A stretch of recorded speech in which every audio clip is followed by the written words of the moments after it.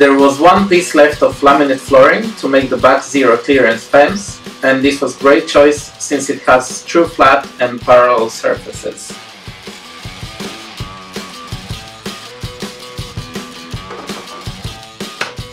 I cut it the size needed and drilled some holes in the aluminum fence and through the flooring.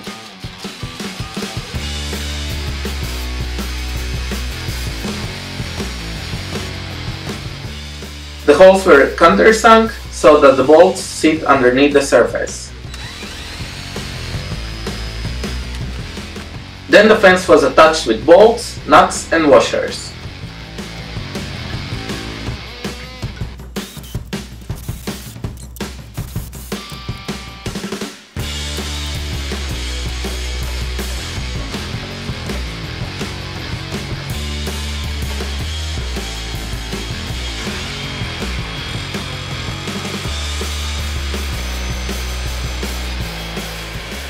I made the cuts with and without the fence to show the difference in cut quality.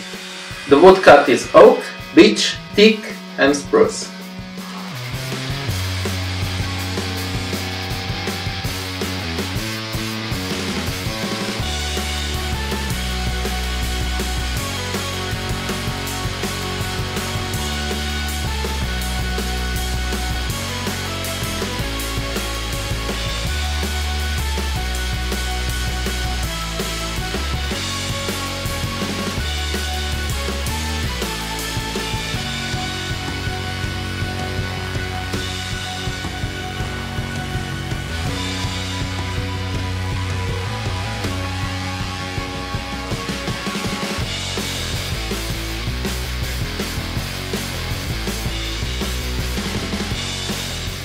The blade I have is neither sharp nor good for this type of cuts, so I need to upgrade my blade for much better cut quality.